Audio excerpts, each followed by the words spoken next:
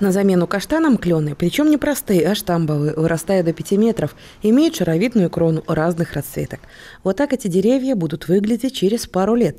Конечно, в этих тонких саженцах красоту разглядеть пока трудно, но уже через пару недель пейзаж центральной городской магистрали будет вырисовываться. Уже сейчас радует глаз мазыряна гостей города композиции из туй, самшита, можжевельника, карликовой сосны, китайских берез. Кто-то решил, что на личном участке растения будет лучше.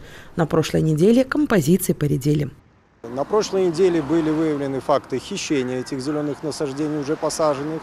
Поэтому сегодня э, принято решение и устанавливается по центральным улицам 45 камер видеонаблюдения с выводом э, сигнала в режиме реального времени на, на пульт э, отдела внутренних дел. 7 камер уже установлены и видеонаблюдение уже ведется.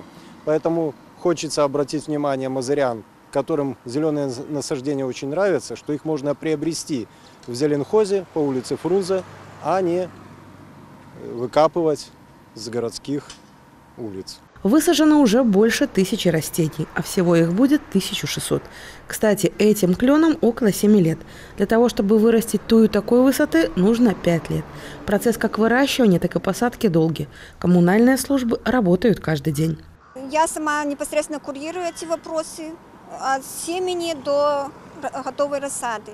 И переживаю как на процессе вообще самого выращивания и даже по, на территории города я все равно езжу, смотрю за этими растениями и переживаю, когда их уничтожают или они погибают по вине наших жителей. Работники нашего участка с такой любовью э, сажают эти деревья, стараются, чтобы было красиво, делают эти композиции, чтобы не было нареканий людей, жильцов нашего города за вырубленные деревья, каштаны, которые здесь произрастали, для, ну, это по необходимости, по проекту для расширения дороги, чтобы наш город был красивый, современный. Уже практически завершена декорация советской.